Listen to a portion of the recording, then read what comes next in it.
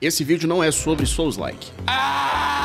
Mas é um daqueles poucos vídeos que eu faço no canal quando eu acho necessário.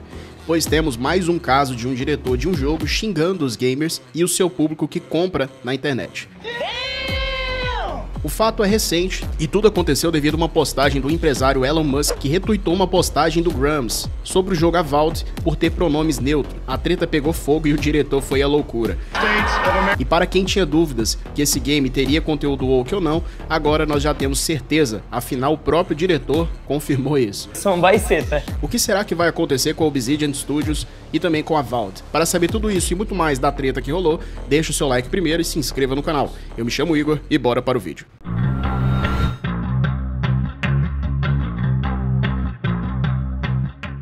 Tudo começou quando o perfil Grams, que é do Mark Kern, CEO e designer de World of Warcraft, produtor também de Diablo 2 e StarCraft, postou em seu Twitter um vazamento da criação do personagem do jogo Avowed, confirmando que teriam escolhas de pronome e pronomes neutros. Fato curioso aqui, inclusive, que todos os criadores de conteúdo que puderam testar o jogo recentemente em uma beta fechada não poderiam comentar sobre a criação de personagem do jogo em suas reviews. O quê?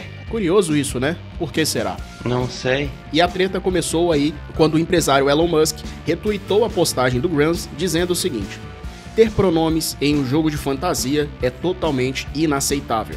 E claro, uma pessoa com a influência de Elon Musk e também um cara que a gente sabe que vem combatendo essa agenda woke em todos os âmbitos, isso iria repercutir.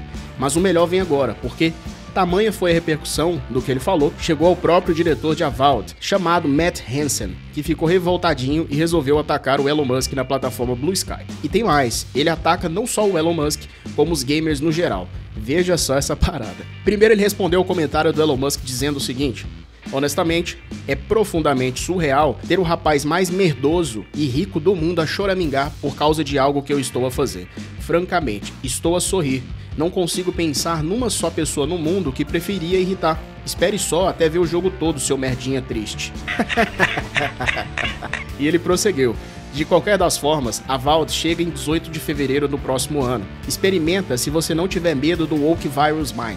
Para quem não sabe esse termo de Woke Virus Mind, ele é um termo muito usado pelo Elon Musk que diz que a cultura woke é como um vírus que impregna as pessoas. E aí o diretor grilado, logicamente, fez uma ironia com isso e terminou dizendo que para mim foi a prova concreta de tudo que suspeitávamos, que esse seria mais um RPG de fantasia lacro. Aqui vai a comprovação para vocês que se dizem gamers e ficam em cima do muro, não se posicionando sobre o fato da cultura woke estar estragando os nossos jogos. E ficam falando que a lacração não existe, que é coisa da cabeça de nerdola e blá blá blá.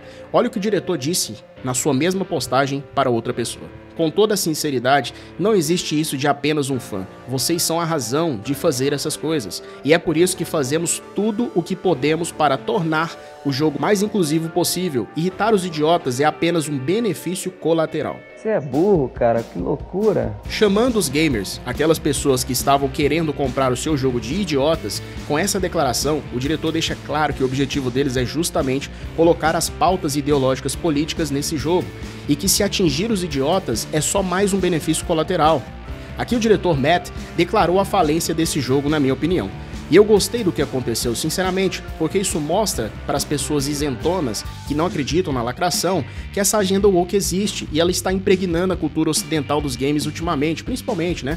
Tanto a Sony quanto a Microsoft estão colocando departamentos inclusivos que não olham a qualidade técnica, não olham o currículo de quem eles estão contratando apenas colocam gente lá dentro para preencher a sua agendinha diversa. Isso tem feito cada vez mais jogos ruins saírem, porque uma vez que essa galera tá lá dentro, eles vão sim a todo custo colocar suas influências ideológicas e políticas, fazendo a equipe daquele game no geral não focar no mais importante, que é o que? Fazer um bom jogo com boa narrativa, história, trilha sonora e gameplay. Eles preferem militar colocando pronomes neutros e cirurgia até de mastectomia dentro de um jogo de RPG de fantasia como Dragon Age e vários outros. Se você acha que o jogo é bom e você vai jogar independente dele ter essas pautas woke, aí é um problema seu. Mas com isso você vai acabar financiando mais jogos assim. Você vai acabar fazendo as empresas continuarem com essas pautinhas porque eles acham que estão dando certo se está dando dinheiro.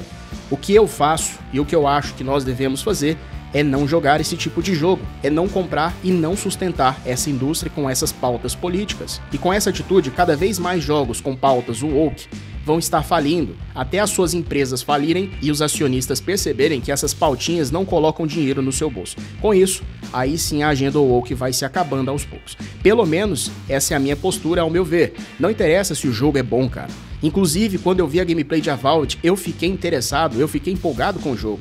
Me lembrava muito bem aquele bom e nunca velho Skyrim.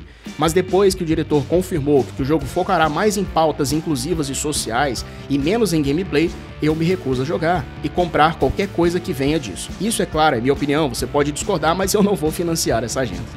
Ao invés do diretor de Avald focar em estar fazendo uma boa publicidade, conversando com os gamers e com seu público, ele prefere militar na internet e xingar o seu público que vai comprar o seu jogo de idiota. Assim como outros diretores fizeram ultimamente, já trouxe no canal sobre eles também, e sabemos bem o que aconteceu com esses jogos depois. O jogo parecia realmente muito promissor, o combate parece ser interessante e tudo mais, mas depois de ver o despreparo e a falta de postura de um diretor de jogo brincando e xingando os gamers na internet, eu não jogarei nem um segundo desse game, mesmo que fosse de graça. Inclusive ele vai estar day one no Game Pass. Se você não liga para essas pautas woke porque o jogo é bom, te respeito e boa jogatina. O que está acontecendo na indústria ocidental gamer é algo que merece ser combatido ao meu ver. Se não fosse também, eu não faria um vídeo como esse. Pelo menos para quem preza para que essa indústria volte a ser o que era antes dessas pautas ideológicas estragarem nossos jogos, para que eles voltem a fazer jogos bons e imersivos e parem de querer enfiar goela abaixo em games pautas sem sentidos. Se você quer defender seus ideais, a sua ideologia, você é livre para fazer isso no seu dia a dia. Você não precisa colocar isso em um jogo para enviar uma mensagem para um público principalmente que não quer isso, cara. O público gamer não quer isso. Acorda. E cada vez mais pessoas estão se levantando contra isso por causa de vocês. Porque vocês estão colocando algo aonde um público que compra aquilo não quer saber disso. É problema seu que você é, não vai estragar os jogos e colocar uma mensagem que ninguém quer. E isso é bom porque cada vez mais gamers estão percebendo quanto isso estraga um jogo. E se não querem que todo mundo fale sobre lacração, se você não quer que a gente fale sobre cultura woke, é só você não inserir isso nos jogos da galera gamer que não concorda com isso, cara. É muito simples. A partir do momento que essa pauta é inserida em um meio onde as pessoas não querem aquilo, você só vai alastrar a oposição que existe naquilo. É triste ver tanta franquia boa sendo destruída assim, como foi em Dragon Age The Veilguard. E saibam, galera, que essa turma de pautas políticas não jogam, eles não gostam de jogos, eles estão literalmente cagando para aquilo. É verdade. E estão dentro das empresas só para colocar influência política e ideológica nos jogos, para destruir o game, para destruir a indústria no geral. Como o próprio ex-funcionário da Sui Baby Inc. comentou que o objetivo deles era realmente destruir a indústria game no geral, era queimar essa indústria, e é lógico, né?